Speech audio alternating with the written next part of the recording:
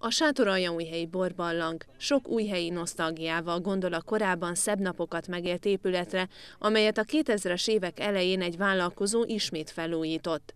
Ám néhány év után ezt is bezárták. Ma már felszámolás alatt van a tulajdonos cége, így az ingatlant is árverésre bocsájtották. Miután az önkormányzat korábban nem tudott megegyezni a borballang tulajdonosával, így árverésen próbálja megszerezni azt. A cél ismert, csak úgy tudja a jelenlegi állapotot rendezni a város, ha tulajdonában kerül az épület. Erről döntöttek mai rendkívüli testületi ülésen a képviselők.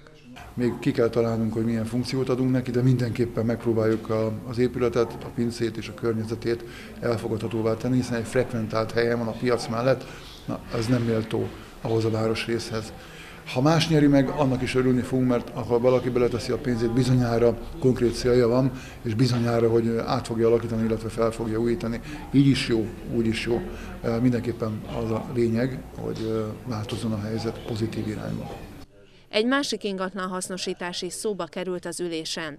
Az újhelyi tűzoltó laktanya egyik ingatlanát kérte a katasztrófavédelem, mert két új szerkocsit kap hamarosan a laktanya, ennek szeretnének új garázsokat építeni. A tűzoltóság ingatlanán belül van egy rész, amely az önkormányzat tulajdonában van, egyébként nem lehetne hasznosítani semmire, mert hát a tűzoltóság épületén belül van, vagy területén belül van. Itt lenne kialakítva ez a, ez a tér, Nos, itt kérték a segítségünket, hogy adjuk át állami tulajdonba, a testület egyhangúan hozzájárult, teljesen természetes, hiszen egy fejlesztésről van szó, és még a mai napon jelezzük, hogy a döntés megszületett, ne legyen akadálya semmi annak, hogy ezek a fejlesztések megvalósuljanak sátorai újhelyben. Egyebek napi rendi pontban a polgármester javaslatára visszavonta a testület azt a szervezeti és működési szabályzati módosítást, amely a képviselőtestületi ülések kép- és hangrögzítéséről szól.